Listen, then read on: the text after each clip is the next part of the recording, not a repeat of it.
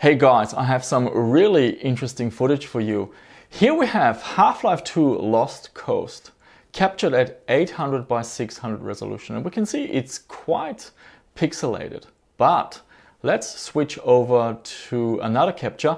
This one is also at 800 by 600, but it uses super sampling. And look at the difference. I try to put them side by side and wow, it's just a much more detailed image, it looks more photorealistic, and it sort of looks like as if they crammed more detail into the same resolution, and that's pretty much uh, what super sampling is all about. So what's going on here? Super sampling anti-aliasing, also called full screen anti-aliasing or downsampling, has been around for ages but it's quite computational expensive, so we need a decent video card. However, playing older games, they're not too demanding, so it's a really interesting feature to make older games look nicer. Let's take a look what super sampling does. Here we are in paint.net and we have an image with 38 by 21 pixels, fairly low resolution. And then I'm drawing a line from the bottom left to the top right corner and we can clearly see how pixelated this line is. Now let's try the same thing with super sampling. We now have the image at a much higher resolution, 3840 by 2160, which is Ultra HD. And again, I'm drawing a line, but I'm using a larger pen size of 80 and now I go into the options and I resize this image down to the same 38 by 21 pixel resolution. And this is what we're getting. The line is now anti-aliased with pixels being blended smoothly together. And basically the line looks smoother and less pixelated. And this is basically what super sampling anti-aliasing does. We are rendering the graphics at a much higher resolution and then downsampling the image. And the beauty of super sampling is that it blends every single pixel on the screen. It doesn't matter if the pixels are from geometric shapes or from textures or transparent textures. Every single pixel is blended together and we get a really nice smooth image with more detail and this sort of photorealistic look. In modern games, we don't see super sampling in the options too much anymore. And this is because there is a price and that is performance. Rendering the game at a much higher resolution, you need a very decent graphics card. The situation is so bad that Nvidia, for example, removed the option from the drivers. They uh, called it, they said, well, this performance loss is just not acceptable. But lucky for us, we are into old games. They're less demanding and high-end video cards from 10 years ago quite affordable and they have enough performance to run these games at very high resolutions. I have some benchmarks of course, so stay tuned for that. But where anti-aliasing becomes even more important is motion. When you have pixel graphics and things are moving, you get something that looks like shimmering or crawling pixels. Here we are in the game Far Cry. We're running at 1024 by 768 and we can see those palm trees, they move from the left to right and we can really see the pixel crawling and shimmering going on. And they, these uh, moving objects, they basically stick out and they can kind of uh, take you out of the game, uh, lessen the immersion, so to speak. Now there are faster anti-aliasing methods, for example, MSAA or multi-sample anti-aliasing. So let's take uh, a look at Far Cry, the same scene but with 4x MSAA.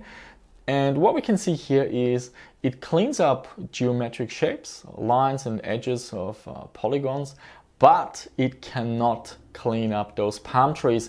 And this is because the palm trees, they are not geometric shapes, they're actually transparent textures. And because super sampling processes every single pixel, it doesn't matter if it's a transparent texture, any texture, a geometric shape, everything gets cleaned up. So let's take a look at the same scene with 8x super sampling anti-aliasing and we can now see the palm trees, they're still moving, but there's much less uh, shimmering or pixel crawling going on. Everything looks nicely blended together, smooth and photorealistic.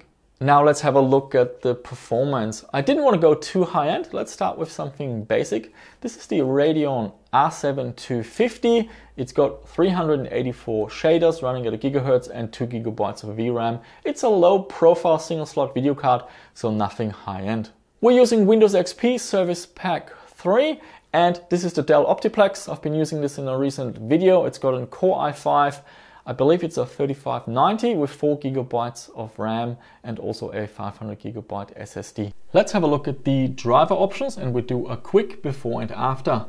Go to 3D and then anti-aliasing. Let's leave it at use application setting. That means the game will determine the setting. Let's run Half-Life 2 Lost Coast. We're running at 800 by 600.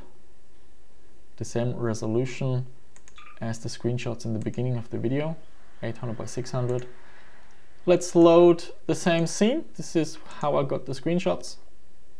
And there we go. We can clearly see there's lots of aliasing, lots of jaggies going on.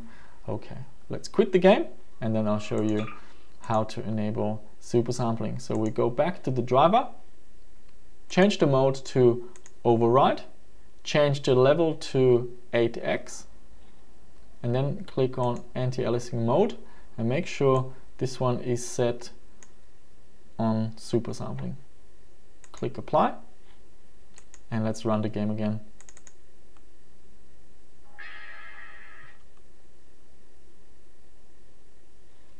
Load game and the same scene. Off we go. There you go. And now we have a beautiful image all the pixels have been cleaned up, photorealistic look, and it looks way more detailed and way smoother than before. I chose to test Far Cry. This is quite a demanding Windows XP era game. We've got the ultra details enabled and also 16x anisotropic filtering. And we're running at 1024 by 768. Without anti-aliasing, we're getting over 200 FPS. With 2x super sampling, the performance drops to 166. With 4x super sampling, the performance really drops to 61.9 FPS and at 8x super sampling, this video card is not fast enough. We're only getting 30.7 FPS. So the more recent the game is, the more demanding the graphics settings are, you need a more powerful video card. So this model has 384 shaders. There are lots of options to choose from. This is a much more high-end video card. It's the Radeon uh, 69, 6970 and this is really a beast. It's got something around 1500 shaders, needs a decent power supply, 8 pin and 6 pin and this will be able to handle Far Cry even at 8x super sampling with silky smooth frame rates. And now let's take a look at some more games because I wanted to see if we can enable super sampling in a range of games. Here we have Tomb Raider 2 running at 1024 by 768 and yes, this game supports super sampling. Let's compare the quality with 8x super sampling and we can see it does a really good job at cleaning up those jaggies. GL Quake are next, so OpenGL games are supported 1024 by 768 and this is just after completing the first level and the camera is moving around a little bit so we can see a ton of shimmering and pixel crawling going on. And again 8x super sampling does a terrific job at cleaning up the image making everything uh, seem unique photorealistic and more smooth. Here we have Screamer 4x4 and we can see something interesting. So this game uses a physics engine and we can see without anti-aliasing uh, the car sort of twitches around a little bit but that doesn't happen at super sampling. And maybe that's because the game is being rendered at a much higher resolution giving the physics engine more pixels to uh, work with a higher precision. But yeah basically again it cleans up the entire image. We get a much smoother more detailed image I've also tested Blood 2 again at 1024 by 768.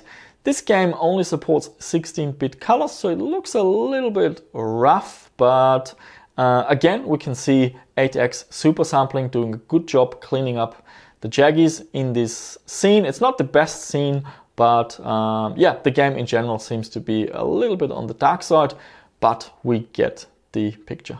So guys, super sampling anti-aliasing is one of those things, once you've seen it, it's really hard to unsee it uh, and go back to playing without anti-aliasing. The image quality is just amazing.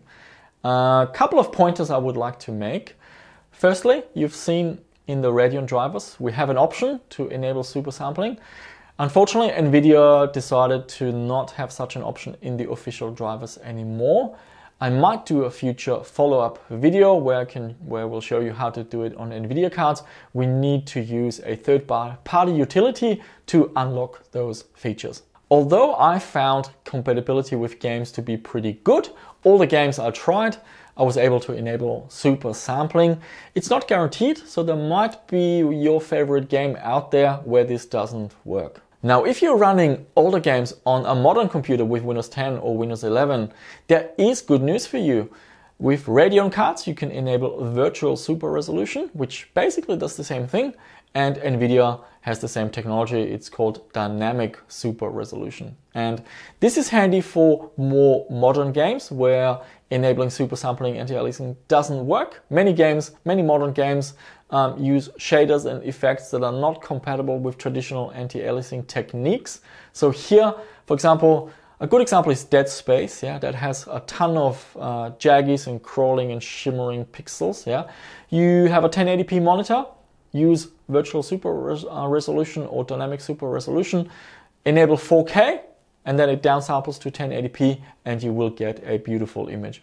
So there you have it guys. This was using super sampling anti-aliasing on AMD Radeon cards under Windows XP to make older games look a lot nicer. And the difference is really uh, great. Uh, I actually couldn't believe it when I looked at these Half-Life 2 Lost Coast uh, screenshots. There's just a lot more detail in the version using super sampling.